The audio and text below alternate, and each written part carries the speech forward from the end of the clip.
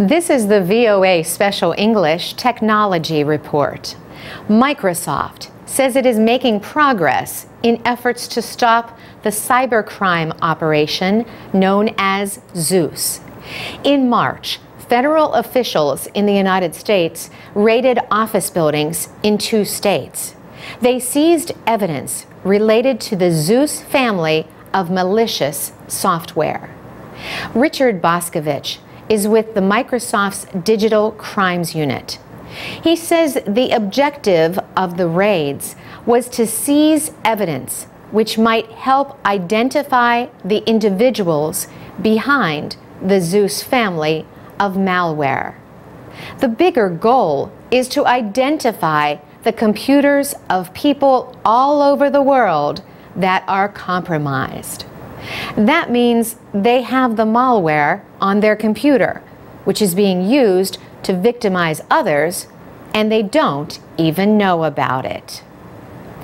Cyber criminals use Zeus to create a network of infected computers, or botnet, to steal personal information from computer users. Mr. Boscovich says the operation reaches around the world. He says this malware was present at any given point in time in at least 13 million computers worldwide.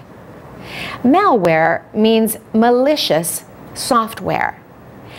It also can be called a computer virus or worm. Mr. Boscovich says the malware is spread through emails, where people are tricked into clicking on a link or visiting a website. And once that happens, the objective is to infect the person's computer with this piece of malware.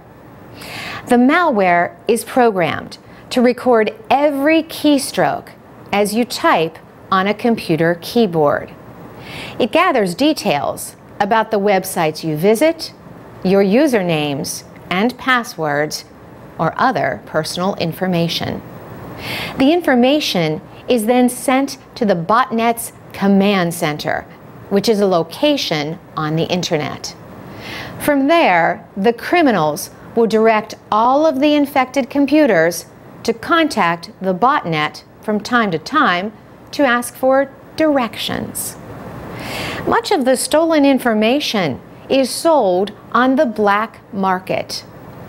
The information can be used to steal money from bank accounts or make purchases online without the victim's knowledge. Officials say these malware invasions are one of the main causes of identity theft. Microsoft brought a case against the Zeus operation on March 19th. The company released the details of the case after the buildings were raided on March 23rd. Next week, we'll talk more about the raids, Zeus, and what Microsoft says computer users can do to protect themselves. We will also talk about other recent efforts to fight cybercrime. For VOA Special English, I'm Carolyn Presutti.